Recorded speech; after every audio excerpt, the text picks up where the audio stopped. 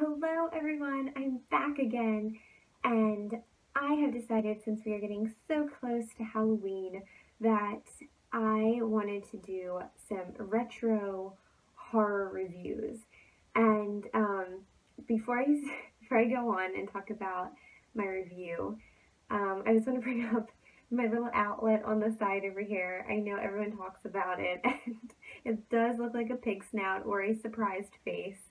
Um, the problem is if I move over this way where I film, you see too much of my room. Um, and then if I move over this this way too much, I'm kind of like hitting the wall. And this is the best place to film in the house. So kind of have to deal with this little pig snout surprise face outlet in all my videos. I'm so sorry. Um, anyway, I'm gonna get on with my review of uh, what some or most would say is the greatest horror film ever made, and that is The Exorcist. And I know that I have um, reviewed this before on my channel back in the day, like years and years ago, and I figured it's such a popular horror film, um, great film overall, that I had to do it again for this Halloween. I hope you enjoy it. Um, here we go. so I want to start off by talking about the excellent performances. Ellen Burstyn as the mom is wonderful. Um, she really, um, you kind of don't really feel for her in the beginning they kind of play her off as very like um like Hollywood, you know, um kind of like arrogant and she's surrounded by all this help, you know, and uh by the end of the movie you just feel for her completely, obviously. And uh Ellen Burstyn does such a good job um, really portraying the character's journey throughout the movie.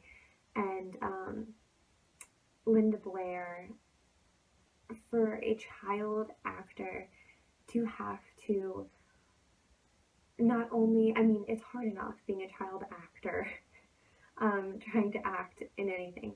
I feel like this was super, super hard. And I feel like it could have gone really bad with the wrong child actor.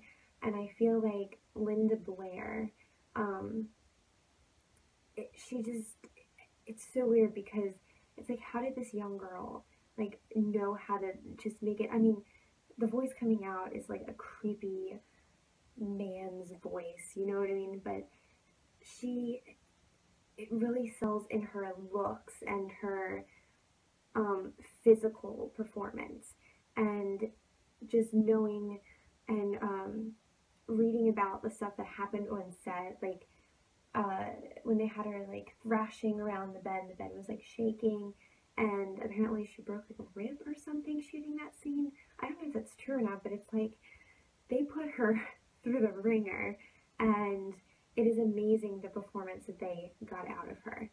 Um, it's still fascinating to this day, I think. And um, the two priests, um, I'm I'm like trying to remember the actors' names. Max von Sydow, I should know, um, and Jason Miller were the two priests. And um, Jason Miller, you kind of follow the story through his eyes, kind of, um, and he's really the character you kind of um, project yourself onto. You really, you really um, sympathize with him from the beginning. You know his mother's died. Um, he's really kind of like doubting his place in the priesthood. And it's like you want this character character to succeed because he is just so down on his luck. And um, Max von Sydow um, doesn't have as big of a part as Jason Miller, but um, he is so uh, he makes such an impression. He is definitely a force of nature, Max von Sydow, just in general. Um, I thought it was funny. I was watching a, um, what movie was I watching? It was uh, Shutter Island or something. And I remember watching that and um, seeing Max von Sydow and not realizing that he was still alive. Um, it, I I didn't know that he was as young as he was in that movie. Like obviously they put on like this old age makeup, but um, I just thought that was funny. like I thought like he was old priest, like he should be dead, but not should be dead, but um, it's just so cool. And then he was recently in The Force Awakens, so he is still acting. He is wonderful. He's a great actor, and um, that was what I wanted to talk about with the characters. The story, you can see how it shocked a generation of people. People in the 70s had not seen a horror film like this before. This was like the start of like the horror golden age. And um, it just, when you go back and look at some of the reactions that um, people had in the theater seeing it for the first time, you would never see that nowadays. We are so desensitized to everything.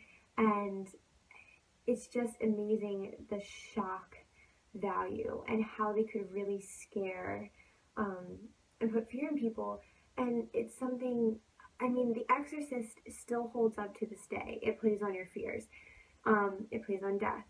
And things people are still afraid of. Now, back in the day when people were maybe more really religious, um, I could see how this was terrifying. And uh, it's just, it's just such a well shot, well choreographed um, film. And there's just scenes that just stick with you. And it doesn't matter that it was made, you know, 40 some years ago. It still is terrifying to this day. The scene where Reagan comes down the steps and um, she pees in front of the whole, um, her mother's whole party. And uh, that is, it's like, it's like disturbing. It's like creepy. And I think like those parts more than like the, you know, head spinning around, pea soup coming out. I think those really stick with you. And the first time I watched The Exorcist, the um the first scene that I well, that's not true. The first uh edition, I guess, a director's cut um I saw was the one where she comes down a step, like spider crawls down the steps, and it's just so. I think the perfect word for this movie is unsettling. It's unsettling that it's happening to this poor little girl, and and growing up and being a child, like watching this film, you feel like, oh my goodness, like no one is going to protect me. Like I'm not protected, and that plays on everyone's fear. If you're a child, you realize, you know, your parents or whoever can't help you. Like this is for these are forces that you cannot control. And if you are a parent, it's terrifying being helpless, not being able to help your child. I just think that is so terrifying and The Exorcist is a classic for a reason. I love this movie. Um, I mean, I don't want to put it on like a grade scale, but I mean, obviously it's a classic for a reason, and it is one of my favorites. I watch it every um, year for Halloween, and I hope you enjoyed this little mini review. I know it was seven minutes, I kind of talked a little bit long. Um, I hope you enjoyed this. I'm going to be doing some more reviews. I kind of want to watch some horror movies I haven't seen before, so if you have any suggestions for horror movies, maybe like ones that are, you know, not rare but uh, underrated that not a lot of people have seen. I would love to hear suggestions and I would love to watch them for the first time and review them. So if you have any suggestions, you can comment down below. Um, but I will be posting these periodically until Halloween. I hope you guys enjoyed this so much and I will talk to you guys for my next review. Bye!